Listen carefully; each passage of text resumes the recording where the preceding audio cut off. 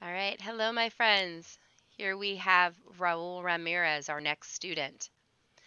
Lunch is a memory of indigestion. Chankara sat across from me in the cafeteria, and I couldn't help staring at her. Her bruises are almost gone, but I can still see the shadows they left behind. If she was my her- hermanita, I'd squash the cockroach who messed her up like that. That's what I was thinking when I remembered it ain't nice to stare. So I ate too fast and I got out of there before she could catch me.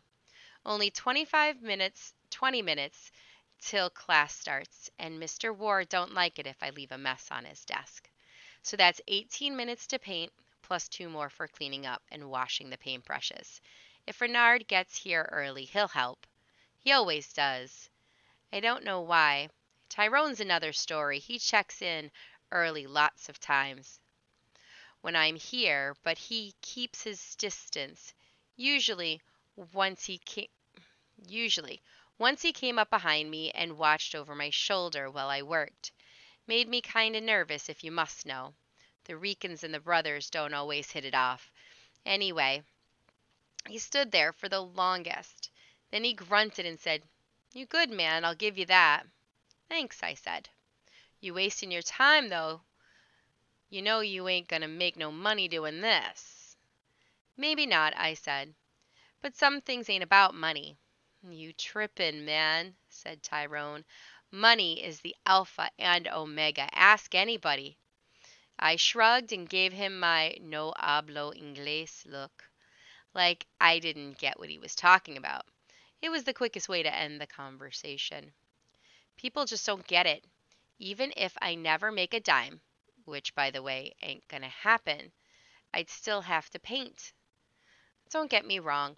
Money is useful. I'm lucky Mr. Ward leaves brushes and watercolor paper for me to use, though.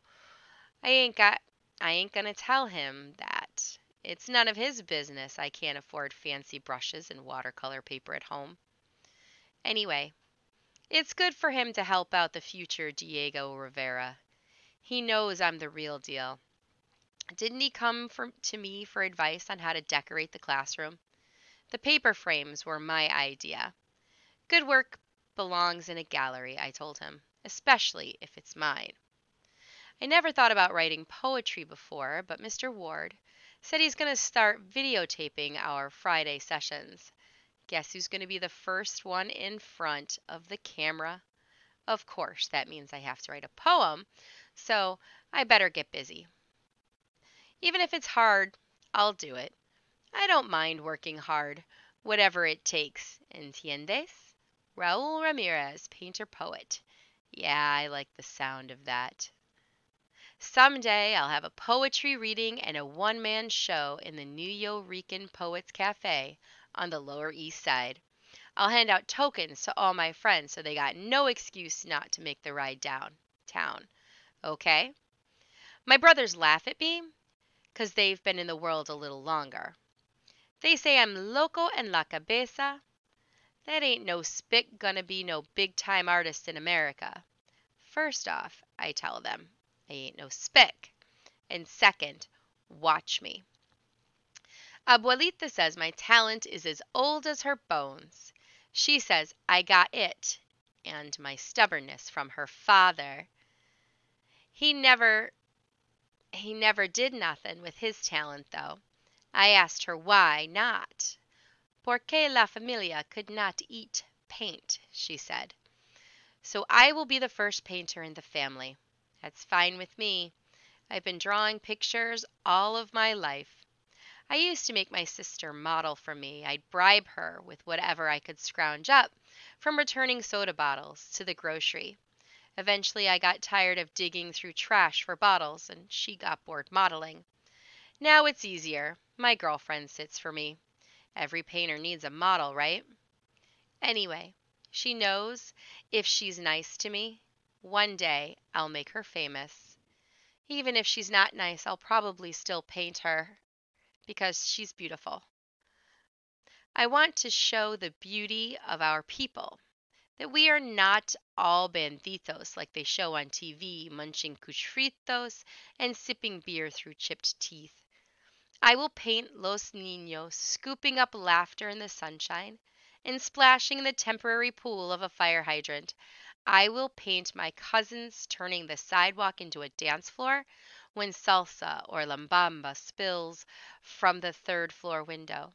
I will paint mommy standing at the ironing board late in the evening after a day of piecework in the factory, sweat pouring off her, steam rising from a pot in the background, me tugging at her skirt while she irons. I will paint the way she used to smile down at me, the love in her eyes saying, I only do this for you. Mommy's beauty is better than a movie star's. It survives a kind of life where pamper is a noun, not a verb. I will capture that beauty on canvas some day when I am good enough. For now, I draw in my sketchbook and paint portraits of myself for practice. But it's not so bad. I'm handsome after all. Raul's poem is in the shape of a Z. Um, here it is.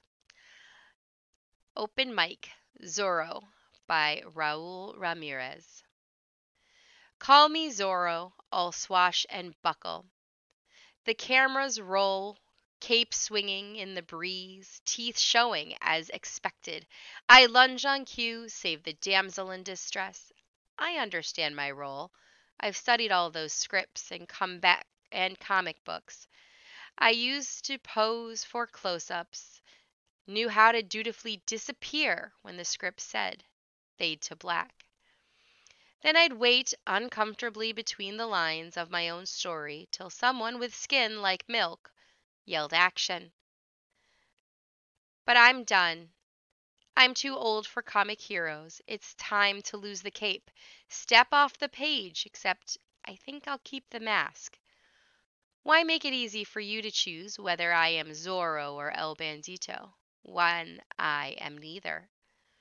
Your categories are too confining. The fact is, you're more comfortable with myth than man. But I'm here to help. First off, put down your camera. Second, give me your hand. Boom. That is the end of his poem. Tyrone's reaction to Raul's poem. Raul is on the money. You got to make your own rules, Jack. That's the real 411. Forget white folks think ah, forget who the white folks think you are, 'cause they ain't got a clue. That's some strong stuff Raul be writing. That Z thing was cool too. He was working it. Frankly, I didn't know he had it in him. Matter of fact, I didn't know he knew that much English. And that is Raul's poem. And I will see you again.